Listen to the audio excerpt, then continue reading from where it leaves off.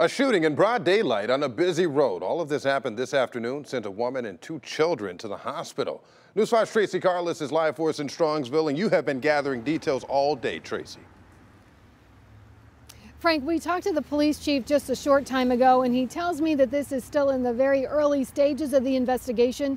But here's what we know right now. Just before noon today, police responded to a call for a shooting on Pearl Road in Strongsville. The Strongsville police chief told me it happened at the intersection of Valley Parkway and Pearl Road. Right now, reasons unknown. Um, fired several rounds into the car, passenger side.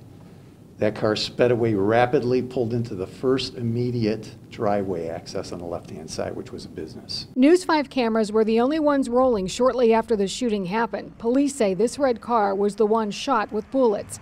We saw a large police presence at the building where the driver stopped for help. The business had nothing to do with this. This was just the first access point that the driver pulled into. The Strongsville Police Investigative Unit was parked outside the building along with multiple patrol cars, and that red car towed away. Right now, police say it's being processed for any information that might help find whoever pulled the trigger.